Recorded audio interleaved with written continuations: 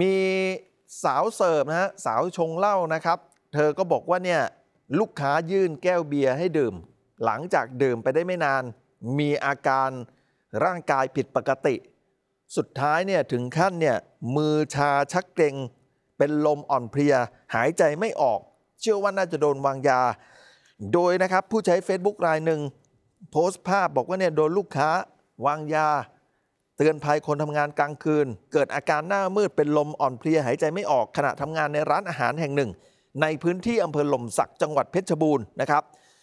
ผู้สื่อข่าวได้ไปพบกับน้องไมายอายุ 24 ปี เล่าให้ฟังบอกว่าตัวเองเนี่ยเป็นเด็กเสิร์ฟในร้านอาหารเปิดใหม่นะในพื้นที่อำเภอหล่มสักนะ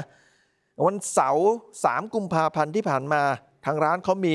มินิคอนเสิร์ตลูกค้ามากันเยอะนะครับมีลูกค้าอยู่กลุ่มหนึ่งครับเป็นชาย 3 คนนะ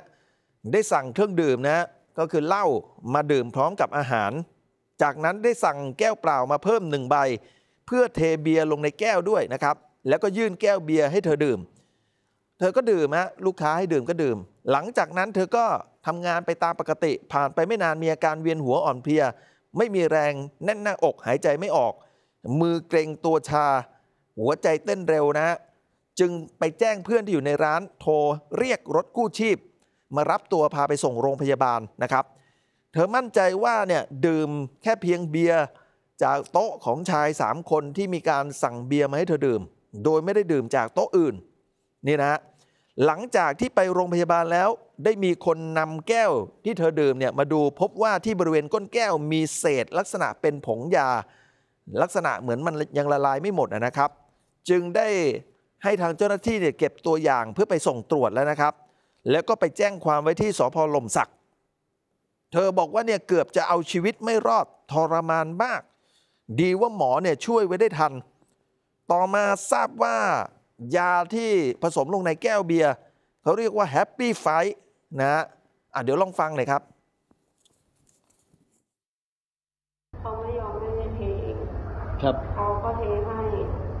พอกินไม่ถึงครึ่งแก้วเขาก็เทให้เต็มแก้วตลอดเลยก็ เอาแก้ววางไว้ที่โต๊ะ เพราะว่าเราเดินไปซื้อของไงเราก็แบบจะถือแก้วแล้วก็เดินไปซื้อของแล้วเราจะหยิบมาในมือก็เดินวนหลายรอบอะไรอย่างเงี้ยเราก็ไม่รู้ว่า ใส่จังหวะไหนหรืออะไรยังไงแล้ว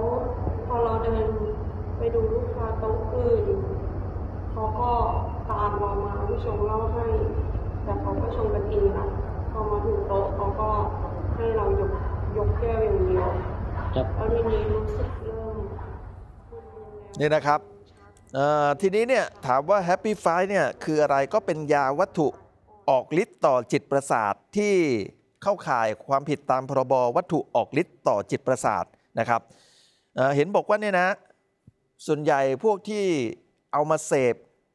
ก็จะมาจากประเทศเพื่อนบ้านนะฮะโดยนะครับปัจจุบันเขาบอกมีบทกำหนดโทษที่รุนแรงนะครับ ไม่ว่าจะเป็นทั้งผู้เสพผู้ขายนะครับ ซึ่งถ้าหากผู้เสพเนี่ยนะมีโทษจำคุก 1-5 ปี ปรับตั้งแต่ 20,000 ถึง 1 0 0 0 0แสนหรือทั้งจำทั้งปรับ กรณีมีการจูงใจชักนำยุยงส่งเสริม หรือใช้อุบายหลอกลวง ให้ผู้อื่นเสพนั้นมีโทษจำคุกตั้งแต่ 2 ถึง 10 ปี ปรับตั้งแต่ 40,000 ถึง 200,000 บาทนะครับก็เชื่อว่าน่าจะนะฮะโดนลูกค้าเนี่ยวางยา เธอว่าแบบนี้ ก็ไปแจ้งความไปแล้วนะ ก็เดี๋ยวให้ตำรวจเนี่ยตามตัวนะกลุ่มลูกค้า ที่ถูกกล่าวหาว่าวางยาสาวเสิร์ฟนะครับนะฮะ